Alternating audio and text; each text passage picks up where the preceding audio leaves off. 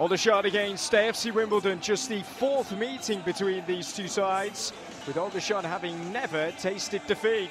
Just the one defeat in seven for the Dons, winning four in that run.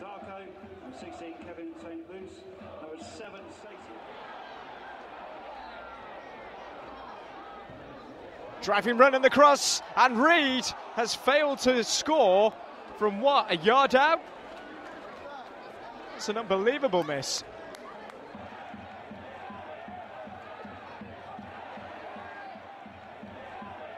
Sammy Moore. Back for Jonathan Meades. His cross is an inviting one. And in the end, it's Jamie Young who claims for Aldershot Town.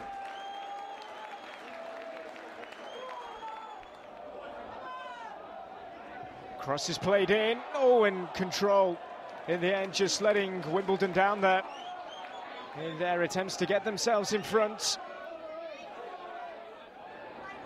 It's coming here. One defeat in seven. Aldershot without a win in four games themselves.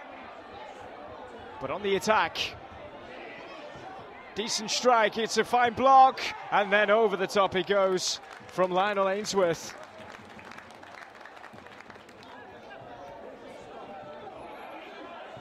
Here comes a strike, and it's straight into the breadbasket of John Sullivan in the Wimbledon goal. Still, we are awaiting the breakthrough. And wide for Ainsworth, who's into the area. Lionel Ainsworth! Might have struck a post. And fingertips as well from John Sullivan. It's a really smart save down to his left. Header comes in and it's wide. Not troubling Wimbledon at all here from this corner. But Aldershot are looking threatening, certainly. They're looking threatening here are Aldershot. Oh, it's a super save again from Sullivan to deny the shots. The opening goal in this game. Clearance. Here come Wimbledon through Harry Pell. And Pell goes for goal, and Jamie Young beats it out. Good save. Have only seen that late. Aldershot can't clear though. This is Midson. He scored. How about that for a goal?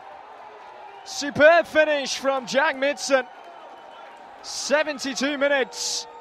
And Wimbledon have the lead. Aldershot just couldn't clear it. And what an imaginative finish that was from Jack Midson. 1 0.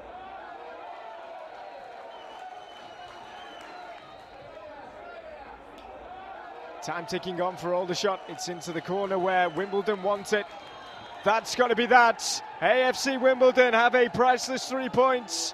And Aldershot's woes continue down at the bottom of League Two. No wins in five for them now.